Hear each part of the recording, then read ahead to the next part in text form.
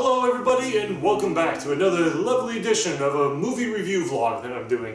And as you, in case you didn't notice by the title, I am reviewing the new movie It that came out a couple of weeks ago. Yes, I first off I just want to apologize for not getting one getting this review out as soon as I can. I was dealing with some personal stuff when it came to work, family, and a few other things, but you know, better late than never, I suppose, which should be my new unofficial motto, but whatever. God, I'm gonna be having a hard time talking about this movie, not because of how, because it was bad, but it was really good, but because of the fact that the title itself is just a very common word, it's gonna be quite difficult, no pun intended, but I'm just gonna roll with it and see where it goes. It is the based off of the Stephen King novel that he came that he wrote back in 1988, and it's also the loosely it's also a bit of a reboot to the 1990 miniseries that came out as well.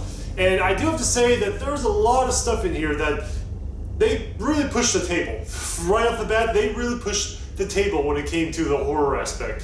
For one thing, this was not exactly made for TV, unlike the first one. It's a rated R, so a lot of kids go through a lot of torture stuff in here. And at the same time, there is a lot of brutality and a lot of frightening images in here as well but at the same time, it also works pretty well. The, the kid actors in here are absolutely fantastic. I especially love the kids who played Billy and Beverly, who are great. And of all people, they even brought out the kid who played uh, straight from Stranger Things in here as well, which I was like quite surprised. it's great.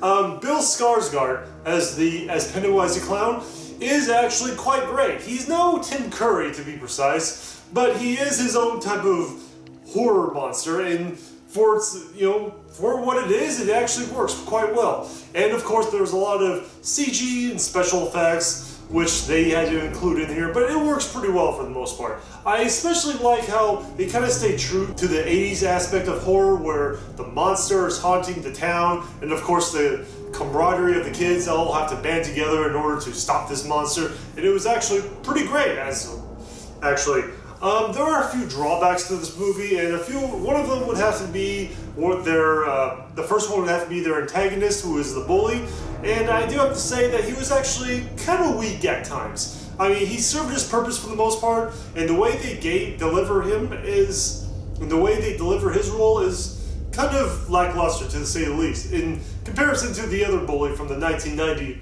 It horror movie. Another negative aspect of this movie is that they focused a little way too much on the kids and less on the parents and also the adults, you know, the oblivious adults more or less. And one of the things I really liked about the first It movie was that there was a lot of uh, supporting characters and also side characters that were ignoring all the delusions and everything else that the kids see. There were only one, maybe two adults that ignored the delusions, and that's pretty much it. And I just didn't like that. I mean, yes, some of the some of the uh, adults to the kids pretty much had their purpose. One, some more strongly than others, but they only focused on like two of the parents in particular. And I was just like, not really, they didn't really focus on any of the others, which is kind of a let, letdown if you ask me. But overall, it was actually quite great. It's quite shocking, and it did in fact scare the hell out of me on more than one occasion. Because I was just sitting at the front row with my friend, and we were just like, whoa, oh my god, it's scary. And he's just, my friend next to me, he was just like, mm, yeah, whatever, man, whatever. Overall, this is actually one of the best movies I've seen to come out this year. And I have to say, one of the best reboots as well. And with that said, I would have to give this movie four and a half out of five stars. Alright guys, so with that said, I'm going to wrap this up pretty quickly. I, I do apologize for the long wait. And of course, if you guys like what you see, feel free to hit the subscribe button. Tell me what you thought about the movie and all that other fun junk. And if you guys have any requests for any other movie movies for me to vlog in the near future, feel free to hit me up on Patreon for the low price of the $1 a month club. And I'll make sure to fulfill that request if you guys have any for me. And with that said, I'll see you all next time.